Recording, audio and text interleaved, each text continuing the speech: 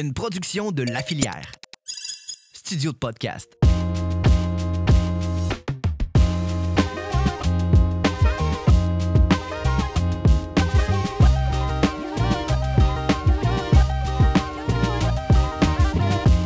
Bonjour. Donc aujourd'hui au podcast, je reçois Jean-François Hartmann. Jean-François est un conseiller euh, en développement des affaires. Ça a aussi été mon coach d'affaires pendant quelques années. Donc c'est quelqu'un qui a à cœur le développement de l'être humain et euh, je dirais a à cœur l'unité de l'être humain dans son ensemble. Vous allez découvrir ça dans le podcast. Donc, on a eu une belle discussion sur les livres, sur la vie, sur le cheminement de la vie. Euh, très intéressant. Jean-François avait, euh, de prime abord, trois choix de livres qui étaient La gloire de mon père de Marcel Pagnol, Les nourritures terrestres d'André Gide et Le guerrier pacifique de Dan Millman.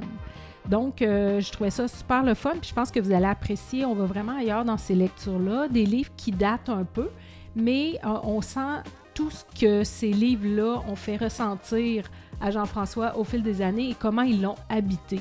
Donc, ce qui est un peu l'essence du podcast, c'est de dire comment une lecture peut nous marquer et ça peut rester dans le temps.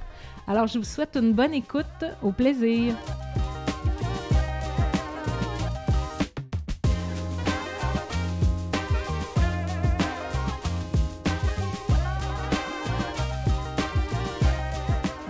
Le podcast d'aujourd'hui est commandité par la Librairie du Portage en collaboration avec Patrimoine Canada.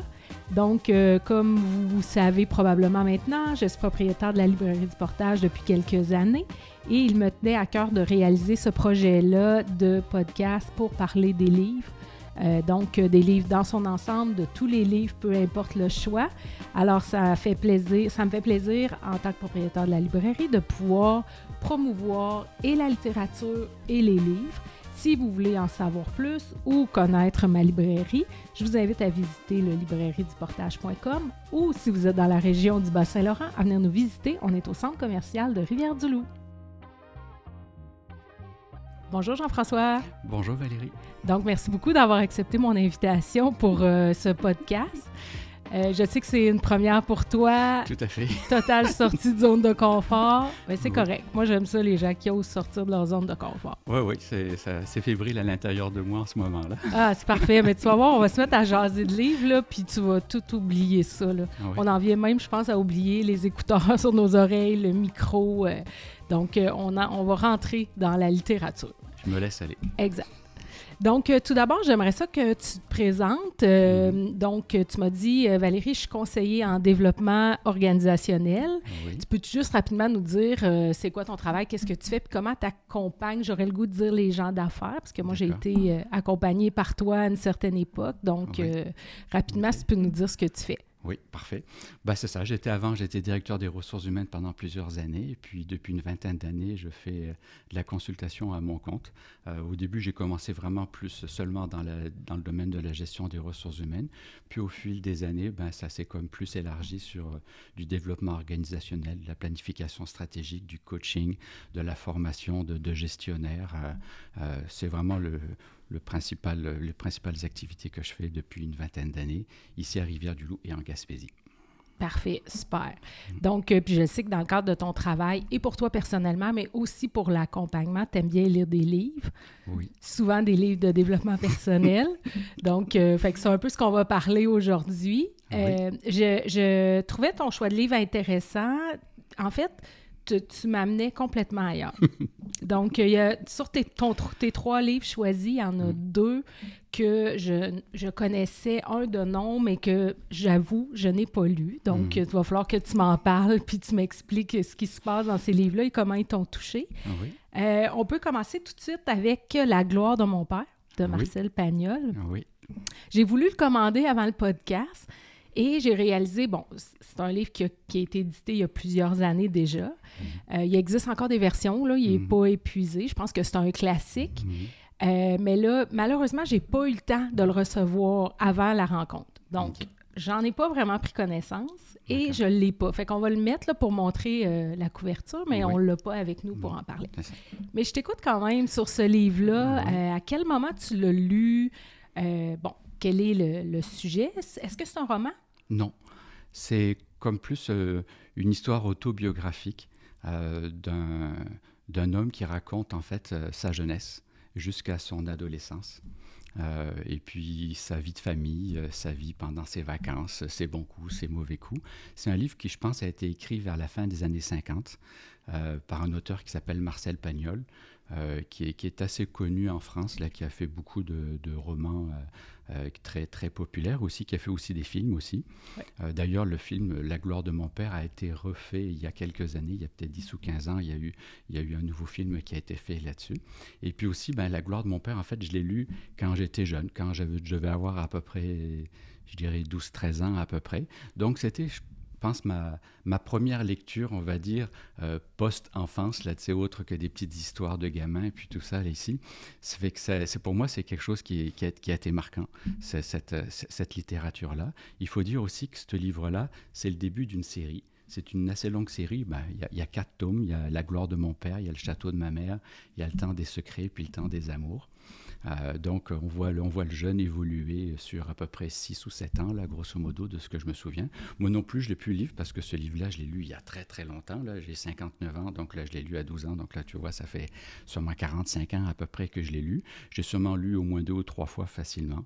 Et puis, ben, je trouve que c'est un livre sur, euh, sur la beauté de la jeunesse, sur l'innocence de la jeunesse, sur la naïveté, sur le fait que tu trouves ça tout, tout ce, tout, ce qui, tout ce que la vie t'offre, c'est beau. Euh, tu es, émerveillé par euh, des réunions de famille, tu es émerveillé par euh, qu'est-ce que fait ton père, qu'est-ce que fait ta mère, là où tu vas passer des vacances dans la nature, et puis tu découvres les sauterelles, tu découvres les souris, tu découvres les fourmis, tu découvres tout plein d'affaires, puis tu te promènes, ça se passe, c'est un roman qui se passe, ou un livre, une histoire qui se passe en Provence, donc dans un endroit qui est magnifique. Là, je ne sais pas si tu as déjà eu l'occasion d'y aller, mais c'est magnifique, c'est dans le sud de la France ça sent bon, toujours un petit peu de vent. Tu, reconnais ça, ah, dans moi, J'ai vécu dans ce coin-là en plus de ça, fait que je, reconnais ça. Donc, quand j'en parle, puis quand je, quand je me remémore ça, c'est c'est pas juste dans ma tête et puis en fonction de ce que j'ai lu, mais aussi c'est ce que j'ai vécu dans ma vie aussi à plusieurs, à, plusieurs reprises. Donc, euh, je, je, trouve, je trouve c'est pour ça que je trouve ce livre-là important, dans le sens que quand on est jeune, d'avoir des beaux souvenirs, de se, faire, de se faire une banque, un coffre de plein de beaux souvenirs. Je trouve qu'après ça, ça aide dans la vie plus tard. Quand on traverse euh, des, des, plus mauvaises passes ou des moments plus difficiles, que de pouvoir, euh, de pouvoir comme se fier sur un coffre de plein de beaux souvenirs, de plein de belles affaires. Aller piger là-dedans. Voilà, c'est ça. Puis finalement, oui, sur aujourd'hui, la vie, elle, tout d'un coup, elle peut être difficile, mais finalement, globalement, elle a été bonne jusqu'à présent. Et puis, bon, ben, je suis bien parti dans la vie, où j'ai eu la chance de, pouvoir être bien parti dans la vie. Et puis, je, trouve que ça, aide beaucoup. C'est très, très pertinent. Puis, je vois souvent dans mes rencontres avec les gens l'importance, justement, d'avoir une belle jeunesse. De, pouvoir bien la vivre, cette jeunesse-là, je trouve ça, je trouve, ça tellement, tellement primordial pour après ça, pour le bien-être euh, par la suite. Ben, c'est super intéressant par mm. contre, quand on est jeune, on ne sait pas comment c'est important ou ce qu'on vit va impacter tout le reste après ou va rester. Mais c'est correct. ça fait, partie de la vie, puis c'est fait comme ça. Là, mais... Effectivement. Mm. Et puis, justement, peut-être un peu dans le même lignée que ça, c'est que j'ai comme eu, en fait, la même chose que, que, ce qui se passe dans le livre. C'est comme euh, une histoire privilégiée. Puis là, quand tu arrives dans la vraie vie, là, après l'école, et puis tout ça, que tu commences à travailler, puis bon, ben là, il y a de la compétition, il y, a il y a des gens qui sont pas toujours bien intentionnés, et puis tout ça. Mais toi, tu n'as jamais vécu ça parce que toi, tu étais dans la nature, tu étais avec ton papa, puis ta maman, tu étais dans ton petit cocon, bien tranquille, bien le fun, et puis tout était agréable.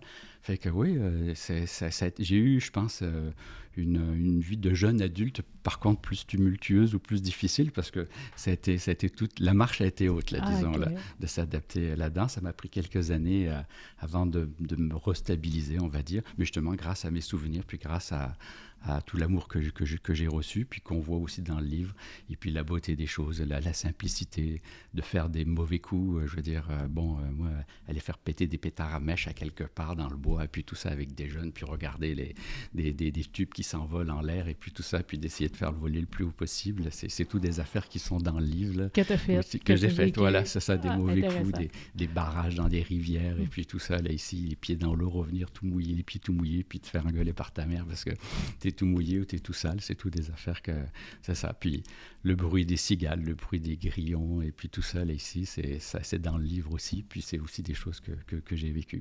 Bon, juste à te regarder raconter ça, là, c'est magnifique. On voit comment c'est des beaux souvenirs. Oui. Euh, ce que je trouve intéressant, parce que dans les derniers podcasts, on a parlé des livres que les gens avaient lus relativement récemment. Puis ce que je trouve le fun, c'est que toi, c'est un livre que tu as lu il y a longtemps. Et ce qu'on ressent quand tu en parles, c'est ben, ce qu'on ressent, puis c'est vraiment ton ressenti par rapport au livre. Mhm. Donc, euh, je trouve ça le fun de pouvoir montrer qu'un livre, tu l'exprimes super bien. Oui, ce qui est écrit est important, mais ce qui nous a, ce qui nous reste, c'est souvent ce Mhm. qu'on a ressenti en lisant ou ce qui nous amène à ressentir maintenant. Mhm. Donc, euh, c'est vraiment ce qu'on sent chez toi, là.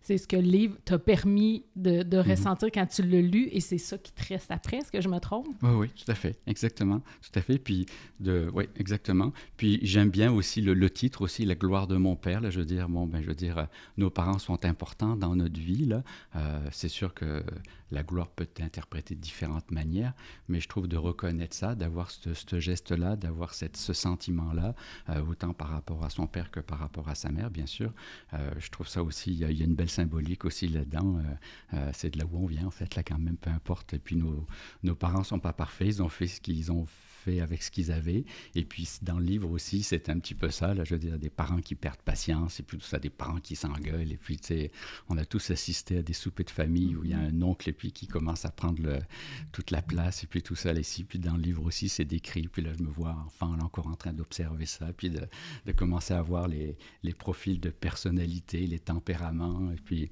d'être très observateur. Euh, Donc ça, ça, ça m'a servi aussi beaucoup dans, dans, la vie, puis ça me sert encore beaucoup dans la vie. C'est, c'est, toutes ces, toutes ces observations-là aussi. En fait, ça te sert dans la vie maintenant, mais ça, ça démontre aussi que tu avais ça dès ton enfance. Oui, Donc, c'est pas quelque chose qui s'est créé, c'est quelque chose qui était présent chez toi d'observer ouais. les gens. Ouais. Donc, euh, super intéressant. Est-ce que je peux dire que cette lecture-là, bon, ça représente l'enfance et tout, après ça, t'as amené à lire les nourritures terrestres? Euh, Est-ce qu'il y a un lien ou... Il, y a un peu un lien, OK? Mais disons que les nourritures terrestres, lui, je l'ai, je l'ai lu bien des années plus tard. Lui, tu vois, je l'ai lu à peu près, je dois avoir une trentaine d'années, 30-35 ans à peu près, donc au moins une vingtaine d'années plus tard. Euh, c'était pendant une époque, je dirais, morose de ma vie, là, euh, où, il y avait eu, où j'ai vécu quelques petits échecs personnels et puis que j'avais de la difficulté un peu à, à, à, à me remettre sur pied.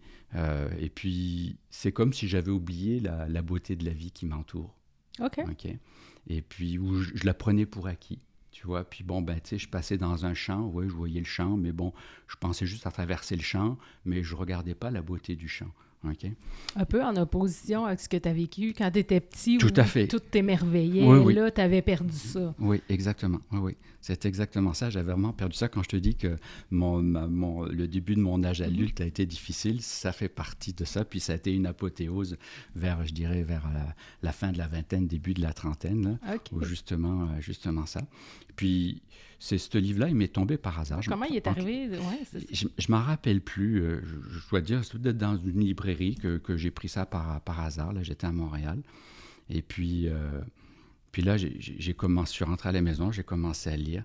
Et puis, je dois te dire que ce livre-là, il est merveilleusement écrit. Okay? Okay. Cet auteur-là, c'est un auteur vraiment que je trouve écrit très bien. J'ai lu deux livres de lui. Il y en a un autre livre qui est très connu qui s'appelle La Symphonie pastorale.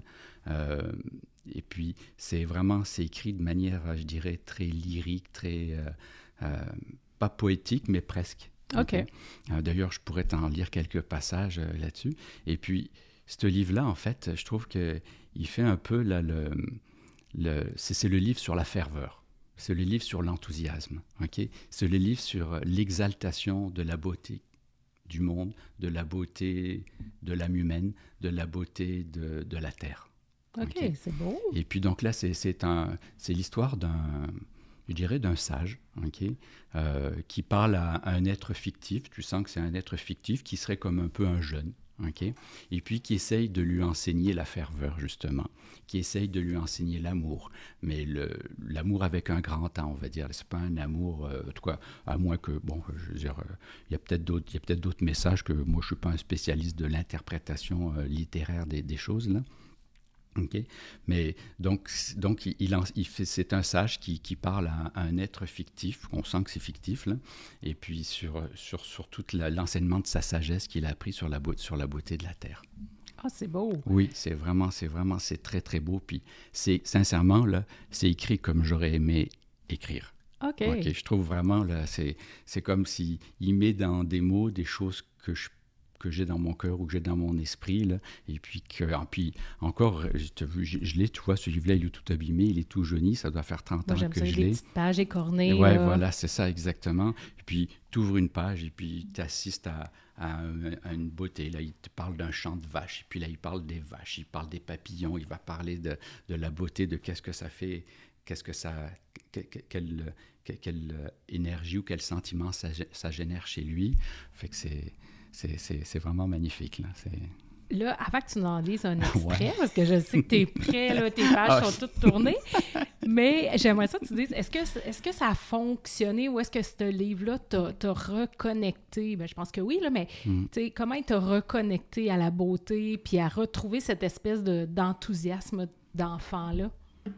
Oui, oui, oui, tout à fait. Ben, comment il l'a fait? Ben, en, le lisant, c'est comme si j'ai senti prises de conscience. des prises de conscience. Oui, voilà, c'est ça.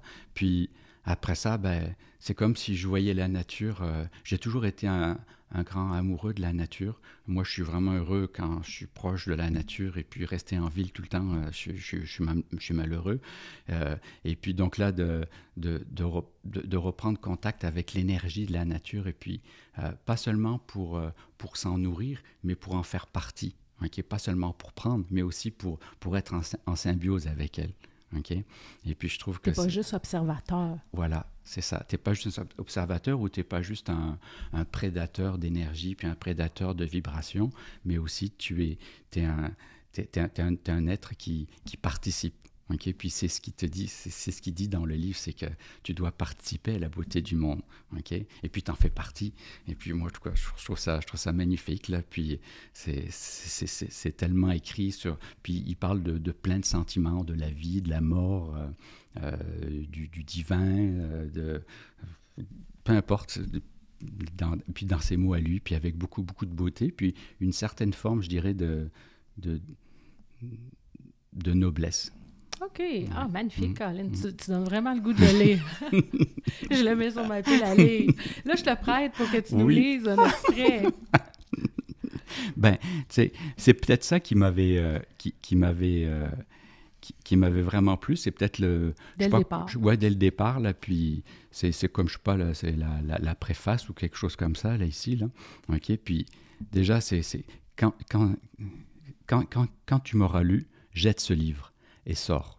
Je voudrais qu'il t'eût donné le désir de sortir, sortir de n'importe où, de ta ville, de ta famille, de ta chambre, de ta pensée. N'emporte pas mon livre avec toi. Que mon livre t'enseigne à t'intéresser plus à toi qu'à lui-même, puis à tout le reste plus qu'à toi. C'est magnifique. C'est moi, je veux dire, tu lis ça, je te, lis, puis ça doit faire 100 fois que je le lis. Mm. J'en ai encore des frissons aujourd'hui de ah, ça. OK? Puis aussi, si je peux me permettre aussi, c'est dans mon travail que je fais aujourd'hui avec les gens, au début, je souhaite qu'ils portent attention à ce que je leur dis ou à ce que je leur partage comme idée, comme piste de réflexion. Mais après ça, je veux plus qu'ils se connectent à ce que je leur dis. Je veux qu'ils se connectent à ce que ça a généré à eux autres. Qu'est-ce que se connectent à eux-mêmes. Voilà, c'est ça, exactement. Fait que là, je retrouve un petit peu, je retrouve un petit peu cette affaire-là là, ici. Ça va un peu aussi dans le sens de mon objectif du podcast de dire fais une lecture. ça mhm. pourrait être, ça s'applique super bien, là, ça pourrait être fais une lecture, puis ça va te faire vibrer quelque chose en dedans, puis après ça, prends ça, puis fais pars avec ça dans la vie. Là.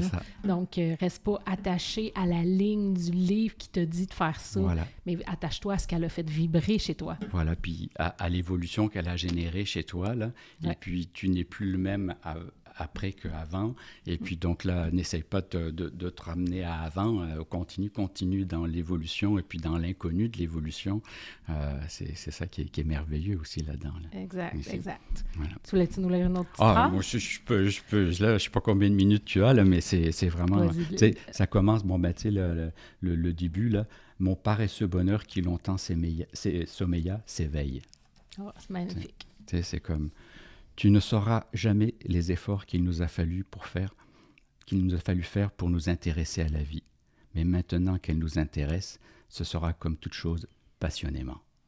C'est magnifique. Tu sais, puis, je, te, je, te, En tout cas, il y en a plein d'autres. Il y en aura à toutes les pages. J'en aurais probablement à toutes les pages à peu près à, lire. Là. Puis c'est de l'enthousiasme, c'est quelque chose que je trouve qui est, qui est magnifique. Euh, il y a un livre, il y a, il y a, un passage qui est un peu trop long là que je lirai pas là, qui est sur les étoiles. C'est magnifique. OK, parfait. Je suis convaincue maintenant, c'est sûr que je le lis. Euh, puis ce que je voyais quand je l'ouvrais, c'est que c'est, c'est pas des très longs chapitres ou des fois c'est des paragraphes. Donc je suis sûre que tu peux. Bien, sûrement que c'est un livre que tu lis sur une longue période. Tu pense pas que tu t'assois puis t'en mm. lis longtemps parce que tu dois avoir besoin d'assimiler au fur et à mesure ce qui est écrit. Oui, c'est ça. Puis c'est comme pas vraiment une histoire. Fait que, c'est comme plus des carnets, en fait, des notes qu'il prend au fur et à mesure des choses, qui, qui, qui, se rend compte de certaines choses ou qui réalise certaines choses. Et puis, donc, ça fait que ça ne suit pas. Fait que tu peux prendre n'importe quelle page. lire aléatoirement. Oui, voilà, c'est ça, exactement. Puis c'est vraiment surtout, je dirais, le, le premier tiers et puis le dernier quart qui sont absolument euh, magnifiques en termes d'écriture puis en termes de, de, réflexion pour moi. Ah, ben super. Alors, euh, un livre à découvrir. Mm. Là, ensuite, on continue, euh, les, années passent parce que sûrement qu'ensuite, ça a été le guerrier pacifique qui, lui, a je ne sais pas à quelle époque il a été lu. Pas très longtemps après. OK. Tu vois, là, je dirais probablement 4-5 ans après. OK, grosso quand même. modo. Oui, c'est ça. Je devais avoir à peu près 35 ans à peu près quand je l'ai lu. Euh, ça, j'ai Il a été édité la première fois en 1980. Oui, c'est ça. Donc, euh, ça faisait sûrement une quinzaine d'années à peu près qu'il que, qu'il existait quand, quand, quand je l'ai lu. Et euh, comment est-il arrivé dans tes mains, celui-là? par des amis qui me l'ont conseillé. OK. OK?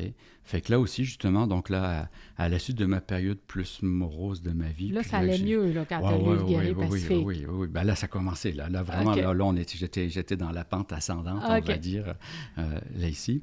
Et puis, de, de commencer à voir la vie de manière autre que qu'est-ce que je l'avais appréhendé jusqu'à présent. OK? Euh, de voir que la vie, c'est pas juste du matériel, ok. Euh, c'est pas juste de l'intellect, euh, mais aussi c'est des choses plus subtiles euh, qui sont liées plus, je dirais, au monde de l'esprit, qui sont liées au monde énergétique, au monde vibratoire, puis je dirais au monde plus spirituel, si on peut dire, mais sans vraiment y mettre nécessairement de connotation religieuse absolument par rapport à ça que j'ai commencé à réaliser qu'il y avait peut-être quelque chose qui, transcende notre existence Et puis ça, ça a été, je dirais, un des premiers livres que j'ai lus pour euh, découvrir ça, ou pour, pour euh, l'expérimenter, le, si je peux dire, parce qu'au début, j'avais aucune, même au contraire, j'étais assez fermé à tout ce qui était euh, autre que, que, du, que du rationnel. OK, OK. J'étais très, très fermé à tout ce qui était autre que du, que du, que du rationnel. Donc, le livre, ça, s'est chevauché. Là. Ton ouverture est arrivée, le livre est arrivé en même temps euh, dans ta vie. Oui, voilà, c'est ça, exactement. Tu étais prêt à faire cette ouverture-là. Oui, voilà, c'est ça. Et puis là aussi, c'est un peu euh, une histoire avec un sage qui s'appelle Socrate, euh, et puis qui, qui rencontre en fait un jeune, là, qui est un athlète, là, mm. et puis qui lui partage toute sa sagesse. Et puis, j'aime toujours ce concept-là, j'aime ça. Euh, je, et puis, fait que ça, ça, m'avait comme. Je me suis comme transposé dans le jeune athlète, là, même si j'étais pas mal plus vieux sûrement que, que, l'athlète euh, dans, dans, le livre. Là. Euh, en tout cas, moins en forme aussi, sûrement.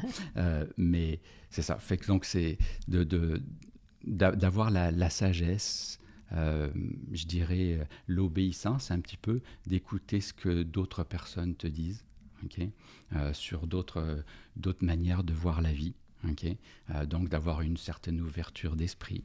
Et puis après ça, ben, de laisser, comme on disait tantôt, de laisser pénétrer ça à l'intérieur de soi, puis de voir qu'est-ce que ça fait. Ça a-tu du sens? Ça n'a pas de sens d'avoir, bon, ben, justement, mon propre jugement pour pouvoir, pour pouvoir apprécier tout, tout, ce qui, tout ce qui est partagé. Et puis, fait que je trouve, je trouve ça, je, trouve ça comme très, très intéressant, puis très pertinent, puis de voir le jeune qui évolue, puis qui fait des découvertes euh, sur lui. Puis en fait, c'est un peu, euh, je dirais, la, guerre de, de, de l'ego. OK, dans le sens que... On parle beaucoup d'ego. Celui-là, je l'ai lu. C'est ça. c'est ça. C'est en fait de réussir à, à faire taire, je dirais, l'ego pour que la véritable nature de notre être puisse émerger. Mm. OK. Tout à fait. Mais ce que j'avais aimé aussi, moi, dans ce livre-là, c'est que euh, c'est sûr, on s'identifie vraiment aux jeunes parce que mhm. c'est lui qui représente ce qu'on est. Mais euh, une des choses que j'avais aimé, c'est que le jeune, c'est pas un chemin linéaire mhm. ou parfait. Mhm. Tu sais, des fois, il retombe, puis il refait quelque chose qu'il avait appris. C'est un peu ça, la vie. C'est que des fois, on fait un bout, on avance, oups, on recule, puis là, des fois, on recule, on s'en rend pas compte. Des fois, on recule et on se dit ben, pourquoi, là, pourquoi j'ai fait ça, ça n'a pas mhm. rapport. Fait que ça démontre un peu ça. Et Socrate euh, est comme OK, c'est correct, on recommence. Donc, mhm. euh, je me, c'est ce que je retiens, entre autres, de ce livre-là. Oui, on, on sort comme du, du, concept du bien et puis du mal, de l'erreur, de, de l'erreur ou du bon coup. Mm. ok? On, on, on, sort de ça, on, se, on ne se juge pas à travers ça. Puis c'est sûr que l'évolution, peu importe le type d'évolution, c'est c'est jamais totalement linéaire. Euh, il y a des accidents de parcours, il y a des imprévus, mm. il, y a, il y, a, tout plein, tout plein de choses. Et puis effectivement, comme tu dis, il y a des essais, puis des erreurs. Et puis des fois, il y a des choses qu'on sait, mais on les écoute pas. Et puis on fait pareil à notre tête. Là, c'est le fameux ego ou le fameux réflexe un petit peu là qu'on peut avoir de la zone de confort ou euh, de, des habitudes. Euh, et puis qui nous font retomber dans nos, dans, dans nos bons vieux réflexes.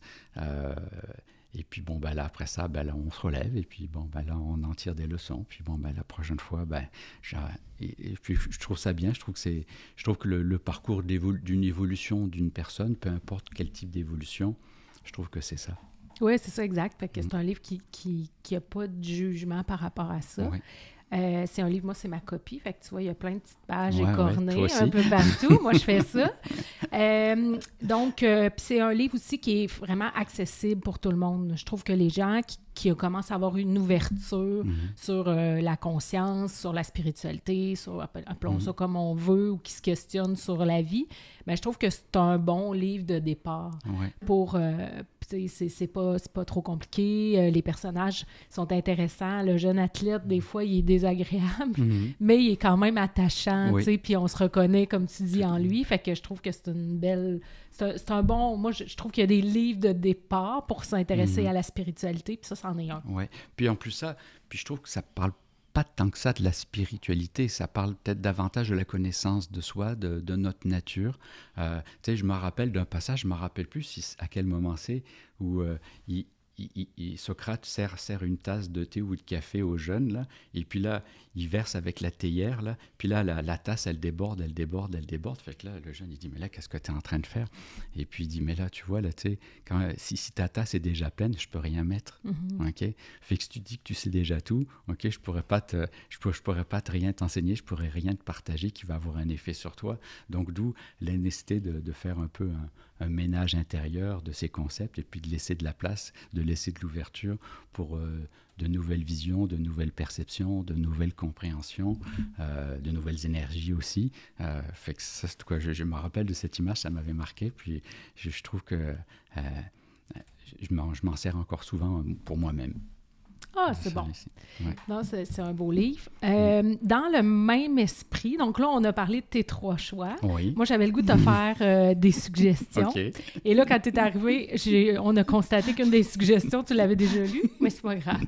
Dans le, je continue sur, euh, la, sur le, guerrier pacifique puis Dan Millman, parce que c'est un auteur, tu sais, ça fait longtemps que ça a été fait, mhm. puis il, il, fait encore des livres. Donc, j'avais le goût de présenter un peu ce qu'il avait fait. Mhm. Fait que je te fais deux suggestions. La première, c'est La voix du guerrier pacifique. Donc, celui-ci, tu m'as dit que tu l'avais lu. C'est vraiment le livre qui reprend les concepts du Mhm. guerrier pacifique, mais là, on est plus dans une explication. Donc, Ouais. il n'y a plus d'histoire là-dedans. là. tout à fait. ouais. Donc, euh, pas de personnage, mais on explique plein de choses par rapport à la dépendance, par rapport à l'évolution, euh, par Mhm. rapport... Puis euh, aussi beaucoup de choses par rapport au corps. Oui, Donc, comment, l'importance de prendre soin de son corps, l'importance de... Parce que, euh, veut, veut pas, dans le guerrier pacifique, c'est un athlète, donc... Mhm. euh, mais, mais pour Dan Millman, c'est important, là, parce qu'on des fois, on a tendance à penser beaucoup euh, intellect, euh, cœur, Mhm. mais corps, il ne faut pas négliger cet aspect-là. c'est- notre véhicule. Exact. C'est notre véhicule, c'est le véhicule de, de notre esprit, de notre conscience, si je peux dire, à quelque part, de notre cœur aussi. Donc, euh, si le véhicule il, il est magané, on n'ira pas loin. là. Et, et on est une unité. Donc, Oui. s'il y a un aspect qui, qui traîne la patte ou qui va pas bien, ben, ça va affecter tout le reste. Donc, c'est vraiment ce qui reprend dans ce livre-là. Donc, euh, moi, j'avais trouvé ça bien intéressant. J'avais, dans, j'avais, puisque je l'ai lu il y a quelques années, tout de suite après le guerrier pacifique. Mhm. Moi, j'ai lu ça, j'étais vraiment dans le concept. Euh, je me souviens que c'était un livre quand même, en tout cas, moi, il m'avait euh, fait réfléchir. Ça, ça a pris du temps à lire. Ça Oui. n'a pas été une lecture qui s'est faite rapidement. là. Ça a peut-être pris un an là, Oui, à lire des petits bouts. Euh, lui aussi, on voyait des petites pages écornées un peu partout. Mhm. Donc, euh, tout à fait. Ça, ça me fait penser un peu aussi à, il y a un autre livre qui s'appelle Le chemin le moins fréquenté. Oui, Euh, puis je trouve aussi là, que c'est un livre aussi beaucoup de réflexion, et puis avec beaucoup de contenu aussi que, que, que j'avais lu aussi, qui est un petit peu dans le, dans le même genre, de ce que je me rappelle. oui, tout Ouais, à fait. Et ensuite, euh, je voulais te présenter le dernier livre de Dan Millman qui vient tout juste de sortir et qui est euh, Cœur pacifique, esprit guerrier. Donc, dans ce cas-ci, c'est l'histoire de Dan Millman. Parce que dans le guerrier pacifique, il laisse flirter un peu l'idée que ça pourrait être lui, le jeune athlète. Oui. Mais on n'est jamais sûr. Mhm. Dans celui-ci, là, il assume qu'il il est lui-même et comment son histoire à lui a affecté le guerrier pacifique Mhm. et euh, comment, bon, tout ça dans sa vie à lui, ça a pris place, puis qu'est-ce que ça a fait. Donc, euh, je pense que quand on a aimé le guerrier euh, pacifique, ben, c'est intéressant de lire ça. Mm. Euh, puis c'est sa quête spirituelle à lui. Des fois, de lire des livres qui sont la quête spirituelle de quelqu'un, ça inspire la nôtre. Oui. Donc, euh, où on, ce qu'on vit, on se rend compte qu'on n'est pas le seul à le vivre. tout à fait. aussi, tout là. à donc fait. là, qu'on est, donc là, qu'il y a quelque chose, il y a, il y a comme une, en fait, une, euh, une, démarche, pas une démarche, mais il y, a, comme des étapes qui sont un peu communes, un peu à tout le monde, en fait, là, grosso modo. Donc, ça nous permet de, relativiser un petit peu nos hauts puis nos bas, puis nos, nos différentes expérimentations, de voir qu'il y a d'autres personnes qui sont aussi passées par là avant nous. Tout à fait. Mm. Donc, pour te remercier d'être venu au podcast, je te l'offre. Ah oui, ah, bah, Oui. Je te Alors, remercie, euh, tu, pourras, euh, tu pourras lire puis m'en reparler Mhm. si euh, tu l'as trouvé Oui. aussi intéressant que Mhm. le guerrier pacifique et les liens que tu as pu faire entre les deux. Ah, je te remercie. Puis, pendant que j'y pense aussi, tu sais, dans le guerrier pacifique, Socrate, là, si je me souviens bien, c'est un pompiste. Oui, tout à fait. Donc, aussi, j'aime aussi le, le fait que c'est comme quelqu'un de, de simple, quelqu'un de, de humble, OK? Mm. Euh, et puis que tu gagnes à connaître. OK? Et puis donc là, qui va pas se montrer, puis qui va pas comme... euh, euh, donc là, moi aussi, j'aime, j'aime ce genre de, de, de- de manière de, de faire, là, cette simplicité-là ici. Euh, je trouve que c'est, ça, rejoint, ça rejoint beaucoup de mes valeurs et puis de, de, de- de ma, de ma vision des choses. Mm. Oui, puis l'autre affaire aussi, je pense que ça démontre bien que les gens qui peuvent nous faire évoluer sur notre route se trouvent partout. Tu sais, des fois, on peut penser que, ah oui, c'est telle personne, ou on peut euh, suivre des gens sur les médias sociaux croyant que, mais ça se peut que c'est ça, ce soit le pompiste qui est la Mhm. phrase qui va venir tout nous bouleverser. Là. Ouais. Donc, il faut, faut comme être ouvert aux gens qu'on rencontre, puis s'ils croisent notre route, c'est sans doute pour une raison. Oui, tout à fait. Puis aussi, de se rendre compte aussi que cette personne-là, bon, ben, Socrate est comme plus âgé, là, bien sûr. Et puis, à quelque part aussi, dans, dans notre évolution de notre vie, euh, au début, on fait des découvertes, on fait des expérimentations, on, on- on apprend de la sagesse. En fait, on acquiert de la sagesse, de la conscience, de la connaissance. Et puis, rendu à un certain moment donné, on a juste envie de la partager. Oui. OK? Et puis, c'est dans ça qu'on trouve du plaisir. Puis, je vois, c'est, puis, c'est aussi, je trouve, euh, une leçon d'amour, une leçon d'humilité, euh, une leçon de générosité, de bienveillance, et puis un désir naturel de fécondité de l'être. OK? Dans le sens que ce, que ce qui est bien en toi, tu as juste envie de le partager. Mm, c'est très beau. C'est ce qui est immatériel Mm. en toi, tu as juste envie de le partager. Puis après ça, bien sûr, ce qui est matériel aussi, mais euh, en tout cas, c'est... Ça, c'est un autre aspect. Oui, voilà, c'est ça. Mais ça, ça aussi, c'est un peu Ça comme le ça. corps et Oui, puis l'esprit. oui, c'est, ouais, c'est un peu lié aussi. Tout Ouais, à fait. tout à fait. Euh, quand tu es arrivé tantôt, tu es arrivé avec un livre dans les Ouais, mains. moi aussi. Oui, c'est ça, toi aussi. En disant, euh, puis là, je le savais parce que tu achètes tes livres chez nous, merci. Et euh, tu m'as dit, Valérie, je suis en train de le lire, je l'aime beaucoup. Donc, veux-tu nous le présenter? Oui, ok.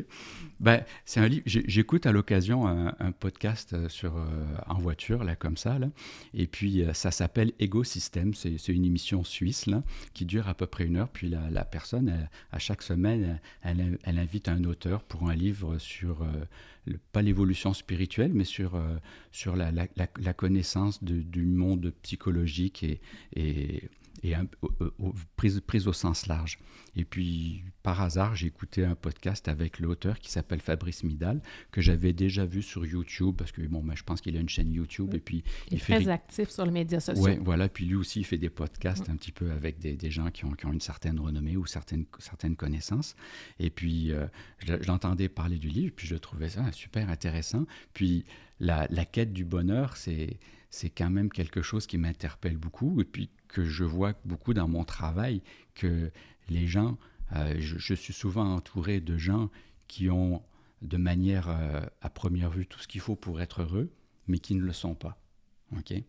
Tout à fait. Et puis, que, et puis donc là, là-dedans, c'est donc là de, de, de découvrir qu'est-ce qui fait que justement, tu as en apparence tout ce qu'il faut pour être heureux, ok, mais finalement, tu ne l'es pas tout à fait.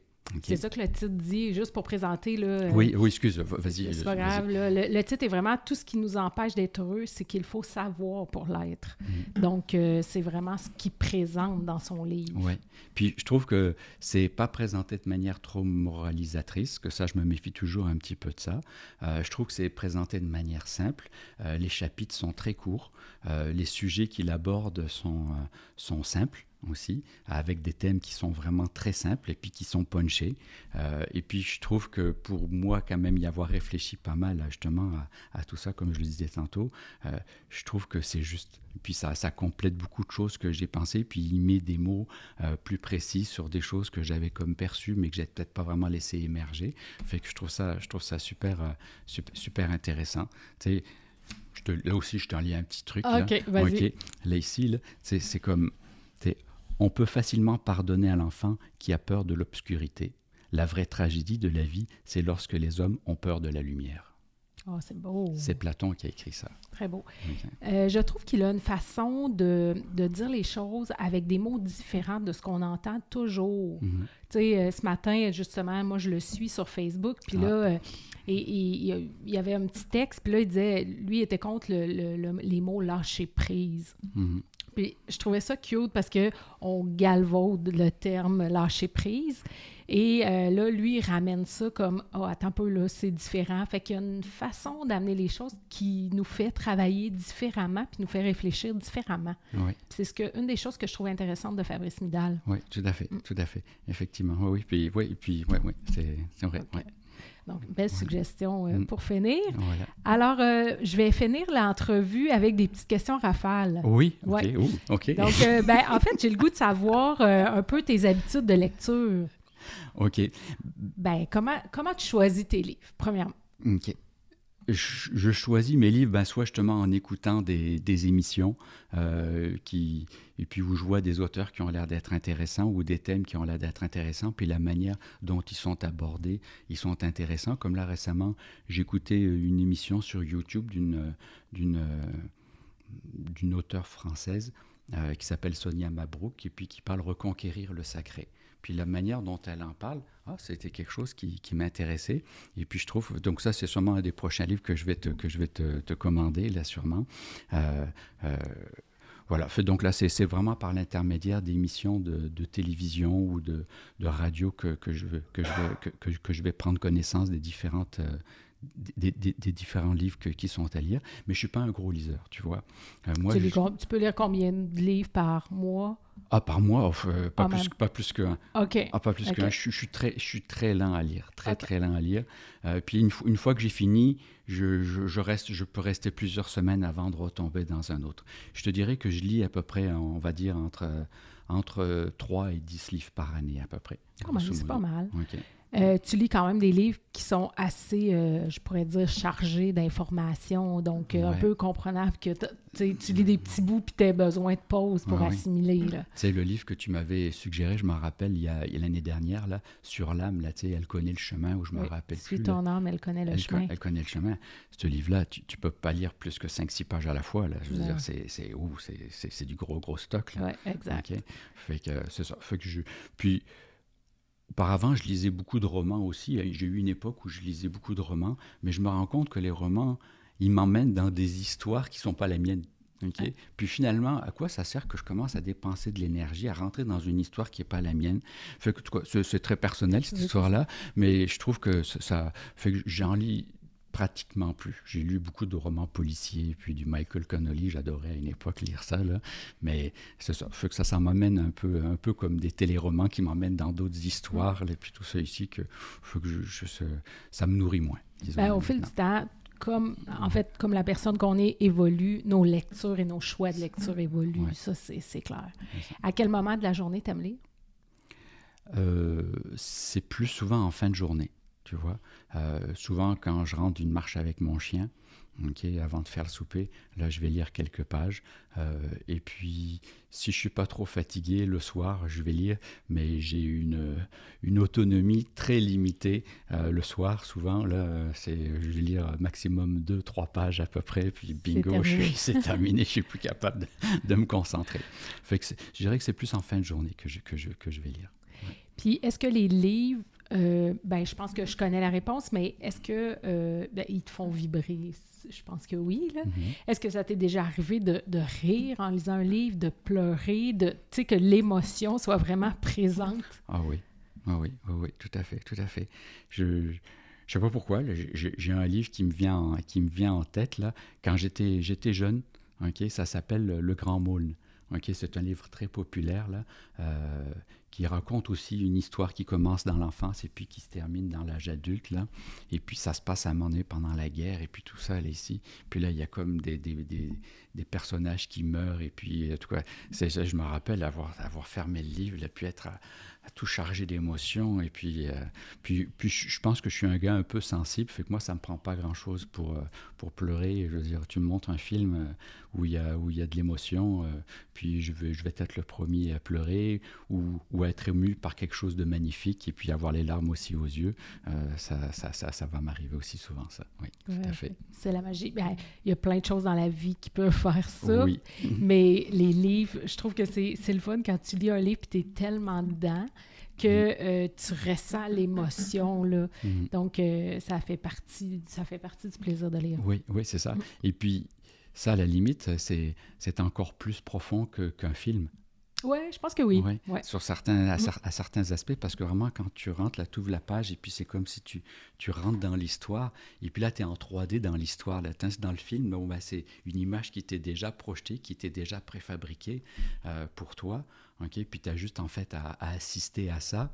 Et puis émotionnellement, oui, tu, tu, tu vis des choses, mais tandis que dans le livre, c'est comme si j'ai l'impression que tu plonges dans l'univers de l'auteur. Et puis, c'est... Tu crées tes images à toi, fait que c'est vraiment propre à toi et à ton monde intérieur. C'est ça, c'est pas mm-hmm. comme dans un film, c'est le, le, réalisateur qui a, qui a La déjà... vision de quelqu'un d'autre. Oui, mm-hmm. voilà, c'est ça, exactement. Fait que ça je, trouve ça, je trouve ça unique et puis je trouve ça très spécial. Puis je pense que c'est ça qui fait que malgré les technologies qui existent aujourd'hui, ok, ben, le livre, il reste encore... Euh, il reste encore très pertinent et puis probablement très populaire et puis que les affaires du livre euh, vont, vont, vont, pas mal du tout. Là. Mm. Tout à fait. Mhm. Ben, merci beaucoup pour cette belle conversation. Ben, ça me fait plaisir, ça, me fait un grand plaisir. Ça a été super intéressant. Là, j'ai ajouté un livre sur ma pile à lire. Donc, euh, je repars avec tout ça. Puis ça a été un plaisir de te recevoir. Ben, merci beaucoup, Valérie, de m'avoir donné euh, la chance de vivre cette expérience-là, une première pour moi. Ah, c'est bon. bye, Jean-François. Bye bye.